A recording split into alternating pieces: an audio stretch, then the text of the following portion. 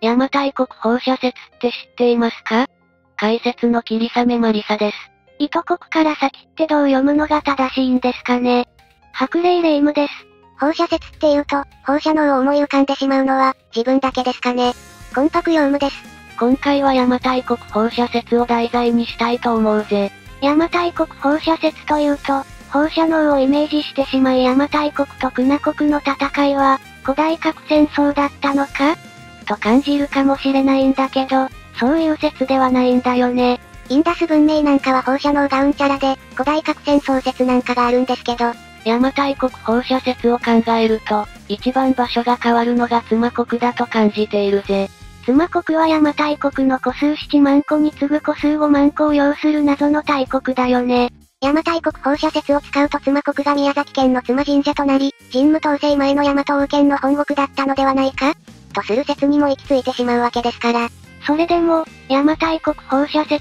て名前だけじゃ、意味がわからない方もいるかと思うんだけど、それじゃ、解説を始めていきましょうか。邪馬台国の場所を考える上で、次のように考える人が多いのではないだろうか。レイムさんが解説してくれます。大砲軍から邪馬台国までの距離が1万2000里で、大砲軍から朝鮮半島南部にあるクヤ韓国まで7000里、クヤ韓国から対馬国まで1000里の海を渡る。再び海を渡って南下し、一四国域にたどり着く。域から海を渡り末路国に到着し、九州に上陸。末路国から糸国に陸路で向かって到着する。糸国には邪馬台国の一大卒が設置されていて、義の使者が留まる場所でもある。糸国から那国に移動する。那国から文国に移動し、文国から先は距離の単位が変わる。文国から妻国まで水行20日で到着する。妻国から邪馬台国には水行10日、陸行一月で着く。邪馬台国に到着しましたね。今、霊夢が読んでくれた記述を見るとわかるように、義士は神殿に書かれている国を、順番に辿っていくのは普通だと解釈する人が多いように感じる。これが邪馬台国放射説と対になる邪馬台国連続説なんだよね。国名が並んでいる通りに連続で進むわけですから。でも、えのき和夫さんという方があることに気がついたわけだ。えのき和夫さんが何に気がついたかというのを、義士は神殿の原文を見ながら見てみましょうか。再び霊夢が読んでくれるぜ。ま。また。あたし。まあ、いいけど。それじゃ、お願いします。大砲軍から輪に至るには海岸に沿って遂行し、韓国を南や東に行くと7000よりではの北岸で歩くや韓国に到着する。初めて一つの海を線より渡ると対馬国に至る。また、南へ関海という海を線より渡ると一大国へ至る。また、線より渡ると、末路国へ至る。東南に500里陸行すると糸国へ至る。ここで一旦ストップしましょうか。でも、普通に糸国に着いたよね。ここまでの記述を見ると方角、距離、国名の順番で書かれていることがわかる。正確に言えば、区や韓国の部分は最後に距離が来ているんだけど、それでも方角、距離、国名の部分に着目したのが、えのき和夫さんだということだ。それじゃ、レイムさんに、さらに読み進めてもらいましょうか。はいはい。方角、国名、距離の順番に着目して聞いてほしい。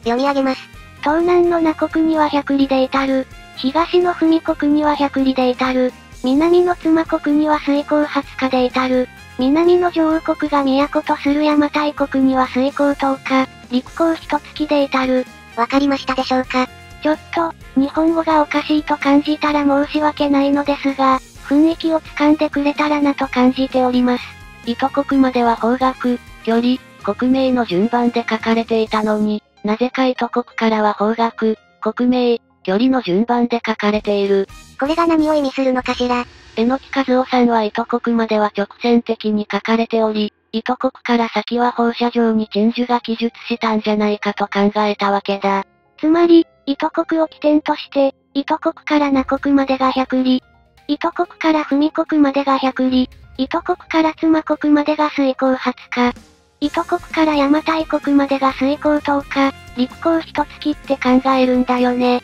確かに、これなら糸国を起点として放射状に描かれていると言えそうですね。邪馬台国放射説を使うと、邪馬台国九州説で、妻国の位置が北九州にあったと考えなくてもよくなるぜ。糸国から水耕発火の地を妻国の場所にすればいいわけだから、南九州に妻国があってもいいことになるよね。邪馬台国への道中に妻国がなくてもいいわけですから。個人的な見解になるんだけど、妻国に関しては邪馬台国放射線説が当てはまるとも感じている。妻国って人口が5万個で邪馬台国の前に記載があるんだけど、和国で第二の大国だよね。邪馬台国放射線説を採用しなかった場合は、邪馬台国と妻国って比較的近い位置にあったってことになるんですけど、妻国の場所は吉野ヶ里遺跡だとも、太宰府だったとも言われているよね。邪馬台国は久名国と戦争をした記述があるんだけど、妻国が近くにいるのは、かなり危険な状態だと言えるのではないだろうか。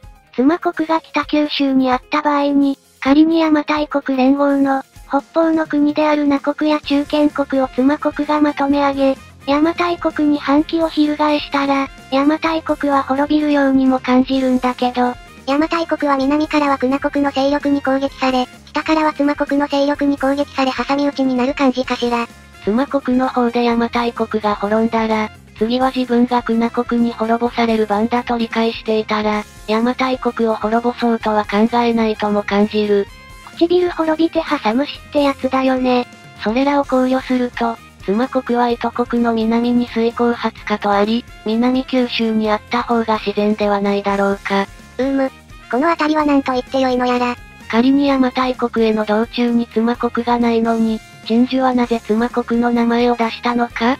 という問題が出てくる。和国の中でも妻国が大国として名が通っていたから、名前を挙げたって感じかしら？まあ、そういうのもあるでしょうね。前回の審議大月使用の動画の話とも繋がってくるんだけど、鎮守が妻国の名前を出したのは、芝居の功績を盛るためではないだろうか。これは、ウプ主が思っているだけなんですけど。西暦229年に西のクシャーナ町が義に徴工しているぜ。義ではクシャーナ町の波長を審議大月しようとしたよね。229年にクシャーナ町が義に徴工したのは、送信の功績だと考えられている。送信は229年に諸葛亮の第三次北伐で、武都と隠蔽を取られたのに、翌年の230年に大芝に昇進しているよね。まあ、諸葛亮が武都と隠蔽は小さな成果でもいいからあげたくて、陳式に命じて武都と隠蔽を攻撃し陥落させたのではないか？とも考えられているんですが、諸葛亮は義の各将が守る陳相を落とすことができず、苦し紛れに武都や隠蔽を取ったとする説だったかしら。しかし、送信からしてみれば、職軍に武都や隠蔽を落とされて、戦いに勝利したということはできない。第三次北伐だけは職軍の勝利だったと伝わっていますよね。職をまとめ上げるために、諸葛亮はどんな小さな功績でも欲しかったゆえの、勝利だとも言えるんだろうけど、それにもかかわらず、送信が大芝に昇進したのは、クシャーナ町を長行させた功績が大きいと考えられているぜ。クシャーナ町は佐山町に圧迫され、危機を感じ義に長行したとも考えられているんだけど、この当時の佐山町はできたばかりで、アルダシール一世が猛威を振るう勢いがありましたから、審議大月使王に封建されたクシャーナ町も、後にはササン町の属国となるぜ。それでも、クシャーナ町もカニシカ王の時代は全盛期を迎え、中央アジアからインド北部にまで領土を持っていたんだけど、クシャーナ町は送信の功績であり距離にして落葉から、1万6370里、人口が10万個だったと伝わっているぜ。ここが重要なポイントだよね。芝居は両党の交村縁を破ると、和国の卑弥呼が義に長行し審議は王となっているぜ。そうなると、邪馬台国の卑弥呼が義に長行したのは、芝居の功績になると思うんですが、芝居は精神の礎を築いた人物であり、宗神のこの曹操とは性的だったわけだ。宋映画239年に崩御した時に、両軍の双方を任されたのが曹操と芝居だったわけですから、精神の役人だった鎮守としては芝居の功績である和国の兆候を、送信のクシャーナ町への兆候よりも大きく見せる必要があったとも考えられる。鎮守は送信の距離にして1万6370里、人口10万個のクシャーナ町を超える功績を、芝居が挙げたことにしたかったってことかしら。こうした時に邪馬台国連合の人口を考えると邪馬台国7万個、那国2万個、糸国が1万個、周小国で1万個くらいがやっとだったのではないだろうか。糸国は義士は神殿だと千横となっていますが、義略に従い1万個で述べたのですが、これだとクシャーナ町の人口10万個と誤差の範囲でしか、差が生まれないようにも感じるんですが、ここで鎮守は、次のように考えたということはないでしょうか。わしはなんとか送信の功績よりも芝居様の功績を上にしたいと思う。しかし、人口の面でどうしても和国と大月氏国クシャーナ町は大差ないことになってしまう。む。むむ。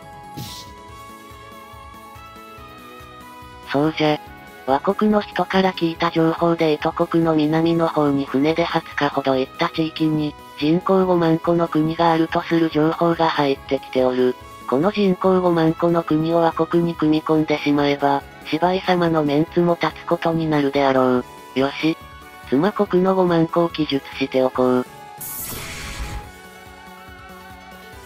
鎮守は政治的な配慮から、義士は神殿に、邪馬台国連合に加わっていない妻国を記述したって感じかしら。これは、あくまでもウプ主の想像であり、何とも言えない部分があるんだけど、妻国に関しては、糸国の南に水耕20日で到着することから、宮崎県の妻神社の付近だったのではないかとも考えられる。名前で考えると薩摩もさ、妻ですから、妻国の可能性も出てくると思いますが、でも、宮崎県はヒムカとも呼ばれ、大和王県とも関係が深い地域だともされているよね。神武統制の出立の地でもありますから。神武統制によりできた国が大和王県で、ヒムカに残った人々が妻国なら面白いとも感じる。神武天皇のこの一人はヒムカに残った記録があるんだよね。そうなると、ヒムカに残った神武天皇の末裔が妻国って感じかしら。ただし、あくまでも、面白い説だということで、確定したとは言えない。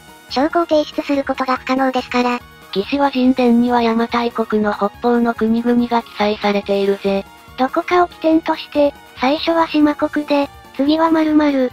次は〇〇と20カ国ほど続き、最後に名国の名前が出てくるんだよね。個人的には邪馬台国の北方の国々も糸国を起点として、半時計回りで国名が記載されているように思う。島軍から始まって、福岡県の博多にある名国を最後に紹介した感じかしら。ただし、名国と文国に関しては、邪馬台国放射説を使ってはいないようにも感じるぜ。邪馬台国放射説を使うと、名国も文国も共に糸国から百里ってことになるんですが、名国は福岡県の博多だと考えられており、文国は福岡平野の南東にある海町だと考えられているぜ。博多と海町を考えると、どうしても博多の方が手前にあり、糸国から名国までが百里。名国から文国まで百里とした方が地形的に合うと感じるんだけど、この辺りもわかる人がいたら教えてくださいませ。困った時の視聴者様頼みということで、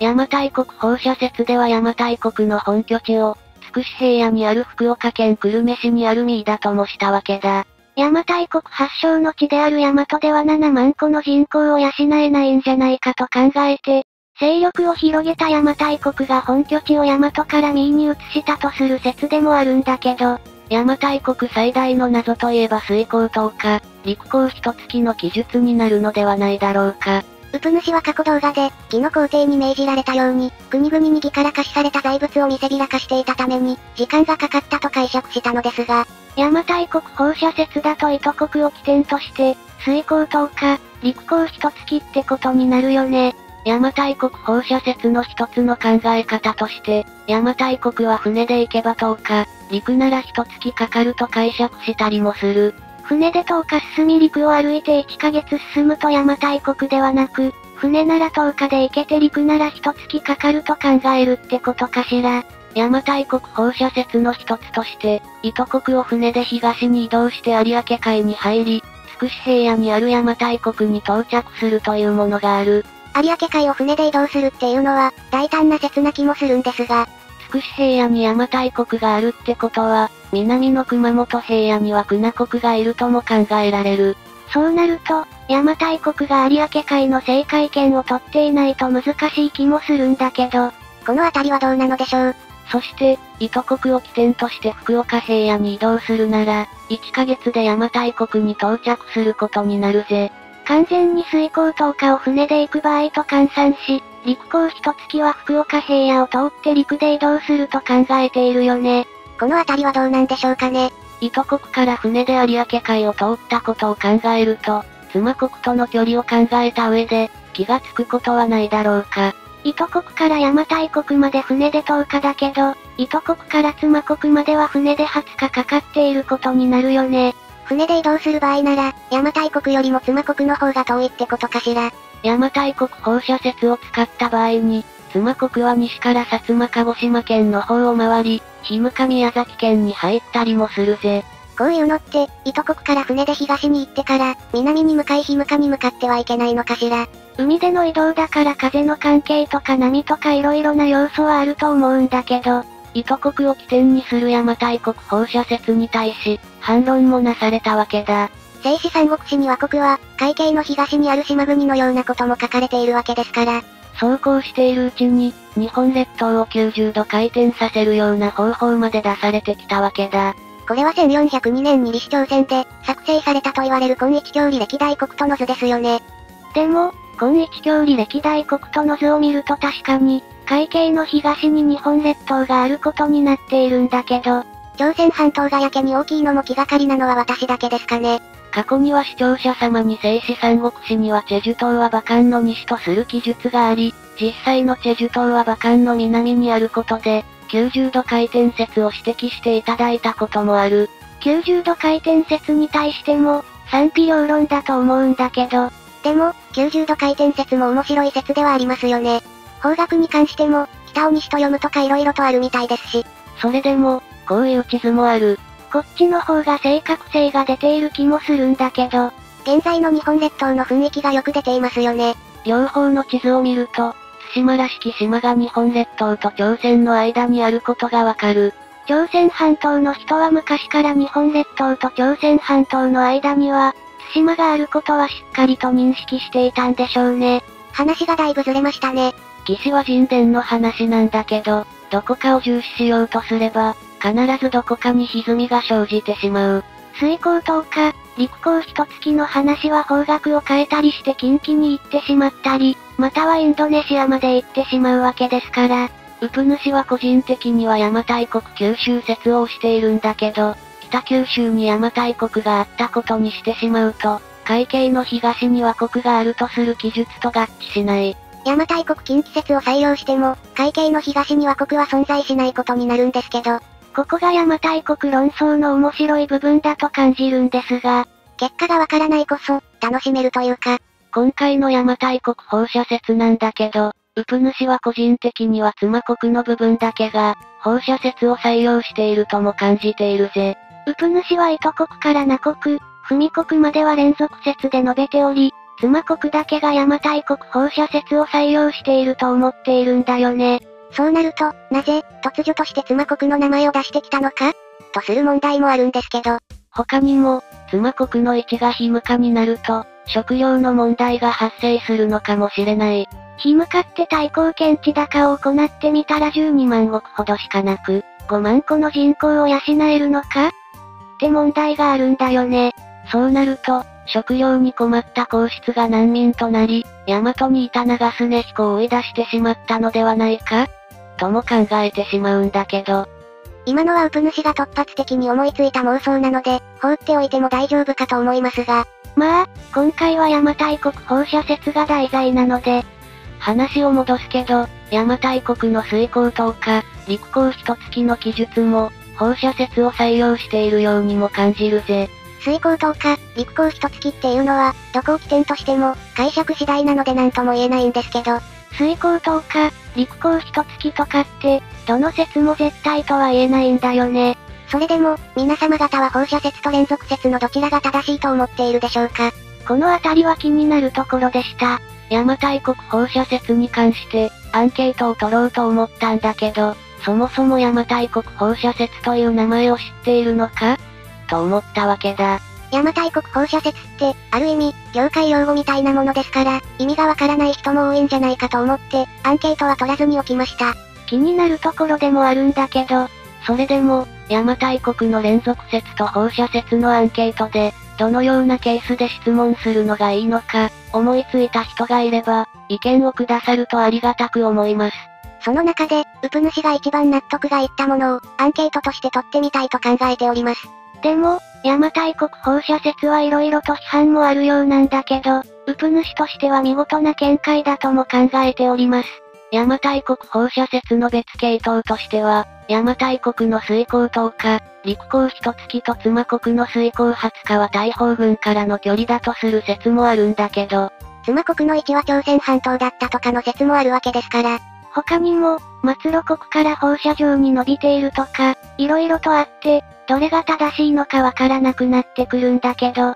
邪馬台国の位置はエジプトだとする説もあるわけで、邪馬台国〇〇説が100%正しいとは誰も言えないよね。邪馬台国存在しなかった説まであるくらいですから。それでも、答えの出ない問題に、今後とも取り組んでいきたいと考えております。それじゃ、今回はこの辺で終わりにしておきたいと思うぜ。この動画が面白かったら概要欄から Twitter の登録及び、ブログなども見てくれましたら嬉しく思います。それを励みとし動画作成を頑張ります。最後までご視聴ありがとうございました。次回もよろしくです。